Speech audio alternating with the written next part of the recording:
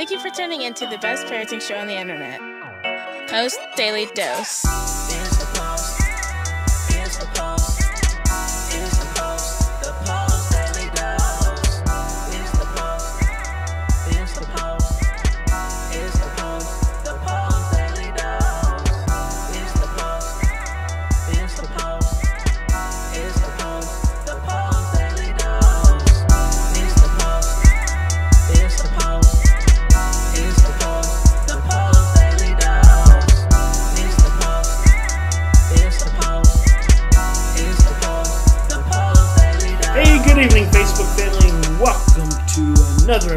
Post Daily Dose with me, your trusted parenting advisor, faithful guidance servant on the healing journey. What's my name? Big Papa Bryan Post.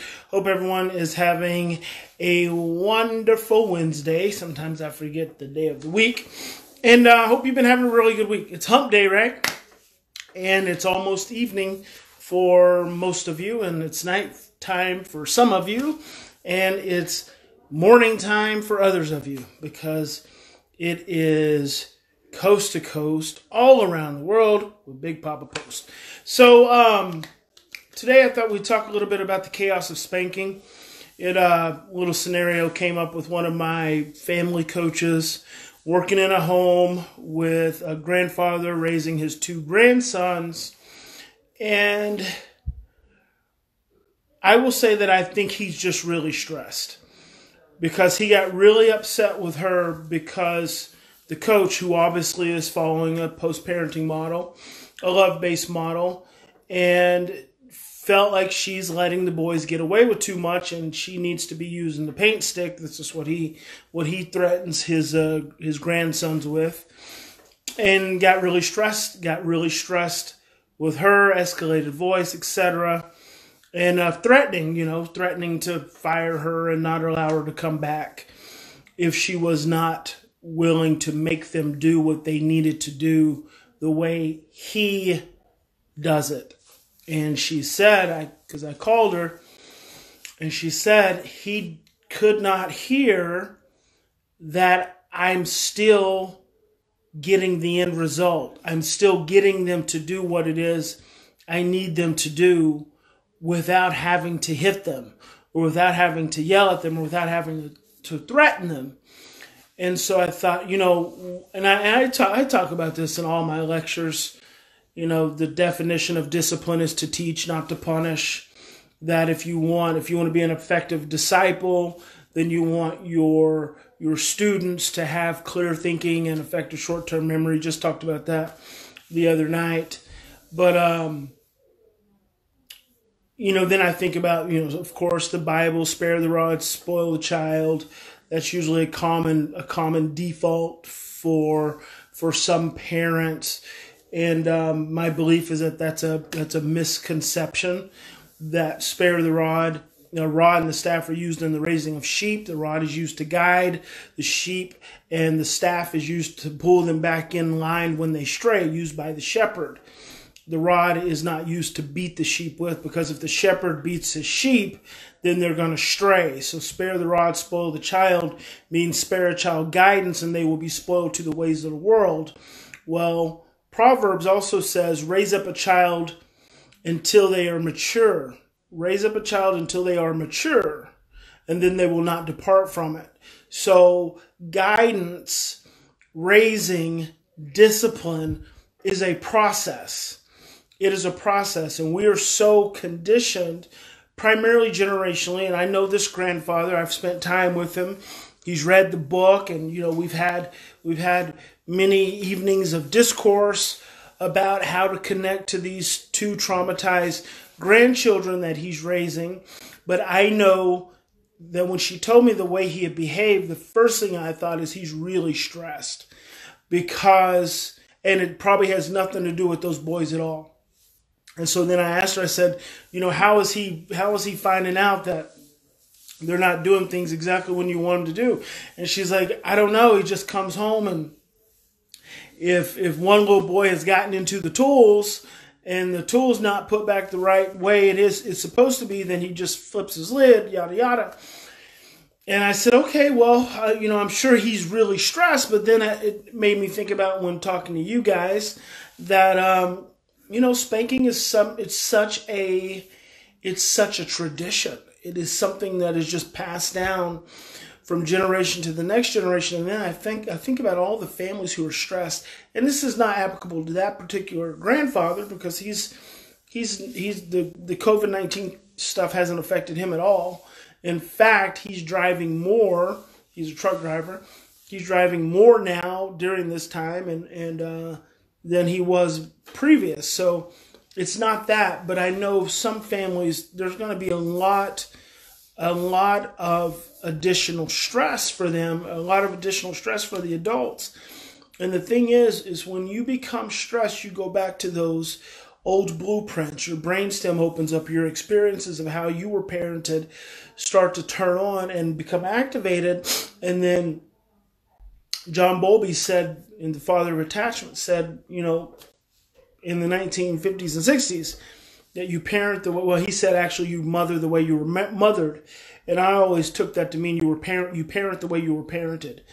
And so you could be the most loving parent in the world and then become really stressed and then revert back to old behaviors, spanking being one of them.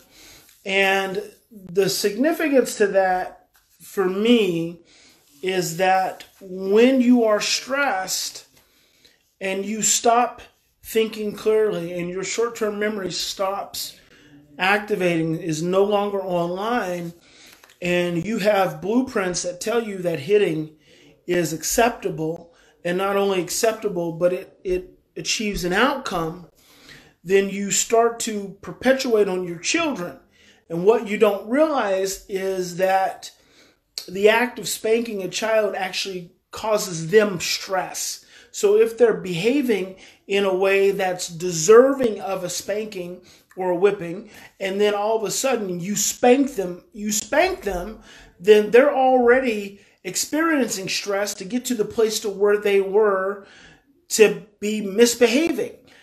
And then when you spank them or hit them, you're actually increasing the stress. And so in in some situations in the short term, it may cease the behavior.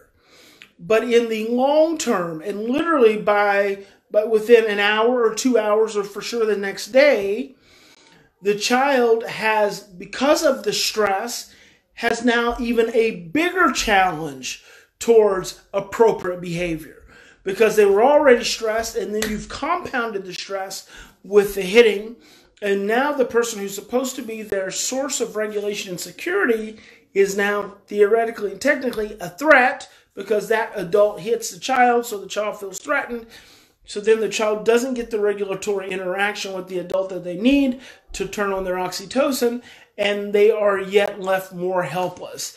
And so then I go back and I say, if you spare a child guidance, they will be spoiled to the ways of the world. And I always think about sheep who are afraid of their shepherd.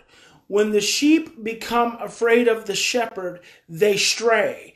And then they are spoiled to the ways of the world, which means essentially they are eaten by the wolves and the coyotes. So then I hear things coming from kids like, I don't want to live here anymore, or I don't want to be adopted anymore, or I'm scared of him, or I, I, I don't feel safe. A stressed out parent cannot hear that communication because then what happens in the brain of the stressed out parent, those statements those emotional statements become greater threats for the parent, which creates more stress, which then creates more confused and distorted thinking, more short term memory, and then more chaotic behavior from the parent towards the child, which in essence creates more chaos. Spanking comes from a place of internal chaos. Spanking comes from a place of internal chaos. And the internal chaos it's coming from is in your brainstem and it's in your cellular system. You've probably got serious blueprints of stress and fear that arise from your own history growing up. And I saw a quote the other day um, that you know, we say that we, we can raise our children the same way we were raised, and that's another way parents used to justify hitting their children. But the reality is, is our world is different now than the world that we grew up in. And and it's sad. It's sad because the world we grew up in was one that really didn't even require spanking. But that's what our parents used because it's the only thing they knew. The world that many of us grew up in was uh, pretty calm compared to the chaos that we live in now. So now you fast forward, you know, 30 years per se, and you've not only got children dealing with the same amounts of trauma, you have parents dealing with the traumas that they've come from. Now we live in a, we live in a society that is mired in trauma, and then we continue to use old practices and old methods to try to change current behaviors. And it just makes it more challenging. It is it is almost setting you up. It is setting you up for future failure with your child. Because the more you spank your child, and, and a lot of parents start really young, and I always say to parents, you can use you can spank your child while they're young. You can spank a traumatized a traumatized child while they're young. But what you're doing all along the way is you're sowing the seeds for them to perceive you as a threat and for you to lose the relationship. And so with a traumatized, with a biological child, you might be able to get away with it even up until they're maybe 13 or 14. But with a traumatized child, you're pretty much going to start losing by the time they hit pre-adolescence because if that's their experience with you all the time growing up it's just reinforced the trauma that they already showed up in your life with and it makes them have that that much less trust for adults who are supposed to be the people protecting them and taking care of them. And for those other families where it doesn't surface by 14 it's going to surface it's going to surface in adolescence. And then what happens is your children start to look for love and acceptance because they attract because your brainstem attracts always looks for similar vibration your child starts to look for love and acceptance through children who have a similar dysregulated vibration as they do, because those kids, the kids they find, are also the kids who've been rejected and haven't felt good enough and ha- essentially feel cast out. So then they all get together, and then what do they try to do? They try to self soothe. And when they try to self soothe, what does that usually lead to? Drinking, cigarettes, sex, stealing, acting out, stealing cars, driving fast, all that kind of stuff. And then what does that do for the parent? stresses them out even more, and ensues the negative feedback loop. The parent becomes more stressed, more chaotic. And so I really want to encourage you to think about what are the seeds you are sowing when you are using physical force with your child. And that probably seems kind of basic for something that I talk about, but it still shows up and we still have it. And I was just listening to a statistic earlier this afternoon that says that well I can't remember, but for every I'm gonna I'm gonna misquote it, but essentially the unemployment rate is gonna lead to more deaths than COVID nineteen. And so the higher the unemployment rate, the more deaths occur because there's more stress. That's a whole different level of stress. And so when you're using physical force in your parenting, remember you may have a short, a very short term victory in getting your child to stop doing that thing in the moment. But in the long term, in the long run, it's going to make your relationship really, really difficult. So I hope that's helpful and I hope that gives some insights Remember, in any given situation, we always have two choices. We can continue to react from our same blueprints of stress, fear, and overwhelm, or we can stop, we can slow down, take three to 10 deep breaths, and choose love. Hope you guys will choose love. Tomorrow, is it tomorrow? Yep, tomorrow I'm going to be doing a webinar with Jeanette Yoffe. Talk about trauma informed parenting practices. Uh, we think we posted that on Facebook page. And then um, I've got another guest. I was a guest on another uh, parenting series. I need to send that out so you guys can have access to that too. So, if nothing else, I've been talking up a storm to a whole lot of people during all this process. God bless you. Big Papa loves you. You guys have a fantastic evening, and I'll see you tomorrow. Join us live on weekdays at 6.30 Central Time on Facebook at The Post Institute. Don't forget to get your copy of Bryan's best-selling book, From Fear to Love, on promotion. Just pay shipping and handling at www.feartolovebook.com. That's www.feartolovebook.com.